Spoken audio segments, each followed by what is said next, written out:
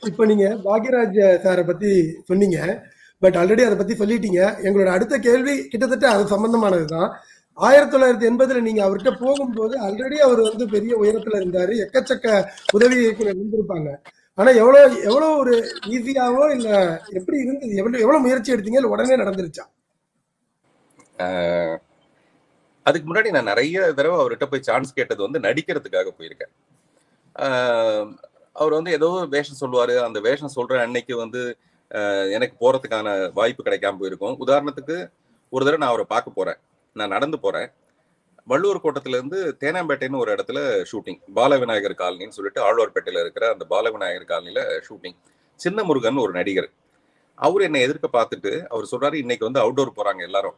நீங்க இன்னைக்கே போய் டைரக்டர் பார்த்தீங்கன்னா உங்களுக்கு ஏதாவது ஒரு பிட்டு வேஷமாவது கிடைக்கும். அதனால தயவு செய்து சீக்கிரமா போங்க அப்படின்றாரு. நான் குடுகுடுன்னு ஓடுறேன். அப்ப அவர் என்ன சொல்றாருன்னா ஒரு நிமிஷம் எனக்கு நீங்க நடந்து போனீங்கன்னா ஆவறது இல்லை. அதனால என் சைக்கிள் எடுத்துட்டு போங்கன்னு அவருடைய சைக்கிள் உதவி செய்யறாரு எனக்கு. அந்த சைக்கிளை கொடுக்குறாரு. சைக்கிளை அவர் இந்த பக்கம் போயிட்டாரு. நான் சைக்கிள் எடுத்துட்டு அந்த வள்ளூர் கோட்டை சிக்னல்கிட்ட போனேன். அந்த செயின் அறுந்து போச்சு. சரின்னு இறங்கி உட்காந்து அந்த செயினை சரி பண்ணிக்கிட்டு போனா ஒரு அஞ்சு அடி பத்து அடிக்கு ஒரு தடவை அந்த செயின் அறந்துடும் செயினை சரி பண்ணுவேன். இப்போ சைக்கிளே என்னால விட்டுட்டு போக முடியாது. நடந்தும் போக முடியாது. விட்டுருந்தா நான் ஓடி போயிருப்பேன். இப்ப நான் சைக்கிளை கூட்டிகிட்டு அந்த செயினை மாத்தி செயினை மாத்தி மாத்தி மாத்தி பார்த்து நான் இங்க இருந்து பாலவிநாயகர் காலனிக்கு போறதுக்குள்ள டைரக்டர் பேக்கப் ஆகி போயிட்டாரு. அவரு அவுட்டோர் போயிட்டாரு. சோ அந்த படத்துல எனக்கு வாய்ப்பு கிடைக்கல. இது எதுக்கு சொல்ல வர? நமக்கு நல்லது நடக்காம இருக்கிறதுக்கு நாலு பேர் உதவி கூட செய்வாங்க சம்டைம் அந்த மாதிரியும் அப்பெல்லாம் வந்து என்னுடைய விதியை நொந்துக்கிறதா இருக்கும். என்னடா ஒரு மனுஷன் உதவி செய்யறேன்னு சொல்லி கடைசியில் அந்த சைக்கிளே எனக்கு பெரிய பிரச்சனையா இருந்தது அப்படின்ட்டு. நான் எதுக்கு சொல்ல வரேன்? இந்த மாதிரி நிறைய போராட்டத்துக்கு அப்புறமேல முந்தானி முடிச்சுக்கு அப்புறமேல டைரக்டர் அப்படியே வேற வேற ஒரு உயரத்துக்கு போறாரு. மக்கள் தலைமை எம்ஜிஆர் வந்து அவருடைய கலை வாரிசுன்னு சொல்லிட்டு அவர் அறிக்கை கொடுக்குறாரு. அந்த லெவலுக்கு டைரக்டர் போயிட்டாரு. இப்ப நான் அவரை போய் ரீச் பண்றதே எனக்கு ரொம்ப கஷ்டமா இருக்கு. ஆனா என்ன பார்த்தோன்னா அவருக்கு அடையாளம் தெரியும். நான் ரொம்ப நாளா இதுக்காக முயற்சி பண்ணிட்டு இருக்கேன்னு அடையாளம் தெரியும். அந்த மாதிரி ஒரு நாளைக்கு அவர் ஆபீஸ்ல போய் நான் நின்றுட்டு இருந்தேன். கூட்டத்தோட கூட்டமா நின்றுட்டு இருந்தேன். என்னங்க நீங்க அடுத்த படத்துல வாங்க உங்களுக்கு வேஷம் கொடுக்குறேன் அப்படின்னாரு. நான் சொன்னேன் இல்ல சார் நான் நடிக்கிறதுக்காக வரல. நான் வந்து உங்ககிட்ட அசிஸ்டன்ட் டைரக்டராக சேரணும். ஆனால் அசிஸ்டன்ட் டைரக்டர்லாம் சான்ஸே இல்லைங்க. நிறைய பேர் இருக்காங்க. அதனால வாய்ப்பு இல்லை. நீங்கள் வேணால் ஒன்று பண்ணுங்க. பாம் க்ரோவில் டபுள் ஃபைன் ஒரு காட்டேஜில் என் அசிஸ்டன்ஸ் இருக்காங்க. ஜிஎம் குமார் இளமுருகு ஆர்பி விஸ்வம் எல்லாமே இருப்பாங்க. நீங்கள் போய் அவங்ககிட்ட கதை சொல்லுங்க அப்படின்னாரு. எனக்கு என்னன்னா கதையை நான் போய் வேற ஒருத்தட்ட சொல்லி அந்த கதையை அவர் போய் அதில் ஒரு ஃபிஃப்டி பர்சன்ட் தான் சொல்லுவார் டேரக்டர்கிட்ட அப்போ எப்படி என்ன செலக்ட் பண்ணுவாங்க? அதனால நான் வந்து நான் சொன்னேன் சார் எனக்கு ஒரு வருஷம் கழிச்சு கூட எனக்கு ஒரு டைம் கொடுங்க. நான் உங்ககிட்ட வந்து கதை சொல்கிறேன்னு இல்ல நீங்கள் நீங்க போய் அவங்க கிட்ட கதை சொல்லுங்க நான் கேட்டுக்கிறேன். அப்படின்னு போயிட்டாரு. இப்ப எனக்கு என்னன்னா அசிஸ்டன்ட் டைரக்டர்கிட்ட போய் கதை சொல்றதா? அல்லது வேற எங்கேயாவது முயற்சி பண்ணலாமா? நான் நேரா பாம்குரோக்கு அப்படியே போய் பாரு பாக்குறேன். பார்த்தா பாம்குரோ கேட்ல இருந்து கூட்டம் நின்றுட்டு இருக்கு. ஆர்வி உதயகுமார் கதிர் இவங்கெல்லாம் அந்த கூட்டத்துல நிக்கிறாங்க. கிட்டத்தட்ட ஒரு நூறு பேர் வந்து நின்றுட்டு இருக்காங்க அந்த கேட்ல இருந்து ஆரம்பிச்சு. சரி நான் அந்த கூட்டத்தோட அப்படியே போய் நான் போய் கதை சொல்றேன். கதை சொல்லும்போதே ஒரு அரகுர மனசோட தான் கதை சொல்றேன். சந்தோஷ நேரங்கள்னு அந்த கதை அந்த ஸ்கிரிப்ட் இன்னுமே என்கிட்ட இருக்கு.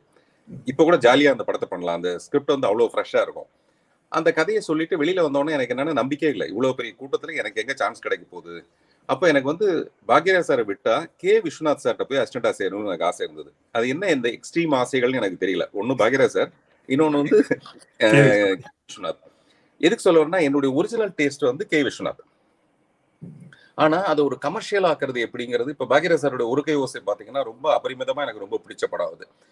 ஸோ அந்த மாதிரி சரின்னு ஒரு மனசுல நிம்மதியே இல்லாம அல்லது நம்பிக்கையே இல்லாம வீட்டுக்கு வந்துட்டேன். ஒரு ரெண்டு நாள் மூணு நாள் கழிச்சு வீரபத்திரன் ஒரு நடிகர் வந்து சொன்னாரு. பாக்யராஜ் சார் கூட்டு வர சொன்னாருன்ட்டு அப்புறம் உளுந்தடிச்சு ஓடி போனேன். போனா அந்த தொண்ணூத்தி மூணு பேர்ல நான் மட்டுமே செலக்ட் பண்ணப்பட்டேன். நான் சொன்ன கதை வந்து டைரக்டருக்கு தெரியாது. ஆனா நீங்க நல் நீங்க வந்து கதை நீங்க என்ன சொல்லுவாரு? நீங்க சொன்ன கதை நல்லா இருக்குன்ட்டு ஜிஎம் குமார் சொன்னாரு. நீங்க என்ன பண்ணுங்க? உங்களுடைய எந்த வேலையும் செய்யக்கூடாது. டப்பிங் கிப்பிங் அதெல்லாம் நிறைய அப்படி இப்படி அலைஞ்சிட்டு இருக்கீங்க. அது எதுவுமே செய்யக்கூடாது. நீங்க என்கிட்ட மட்டும் தான் ஒர்க் பண்ணணும். இந்த சம்பளம்ங்கிறது உங்களுக்கு சம்பளம் கிடையாது. ஒரு கன்வீனியன்ஸ் மாதிரி தான் சம்பளம்ங்கிறது நீங்க எப்ப டைரக்டர் ஆகுறீங்களோ அப்பதான் நீங்க சம்பாதிக்க முடியும். முதல்ல சம்பாதிக்கிறத குறியாலாம் வச்சுக்காம நீங்க வந்து ஒர்க் பண்ணலாம் அப்படின்னாரு. நான் சொன்னது இப்பதான் எங்க அப்பாவுக்கு கேன்சர் மைலரான்னு ஒரு மாத்திரை இரநூத்தி எழுபது ரூபாய் அந்த மாத்திரை. என்னுடைய சம்பளம் முந்நூறு ரூபாய். மீதி முப்பது ரூபாய். முப்பது ரூபாயில நானு அம்மா அப்பா தம்பி நாலு பேர் சாப்பிடணும். இது முடியுமா? நான் ஒரு நிமிஷம் யோசனை பண்ணி பார்த்துருந்தேன்னு வச்சுங்களேன் நிச்சயமா நான் அதை அக்செப்ட் பண்ணிருக்க மாட்டேன். என்னமோ தெரியல அது தெய்வாதீனமா வந்த வாய்ப்பா? இல்ல அந்த நேரத்துல என் மனசு வந்து சரியா செயல்பட்டதான்னு எனக்கு தெரியல. அந்த ஒரு க்ஷணம் என் வாழ்க்கையை வந்து வேற ஒரு இடத்துக்கு உயர்த்திருச்சு. அப்படிதான் நான் போய் டைரக்டர் போய் சேர்ந்தேன்.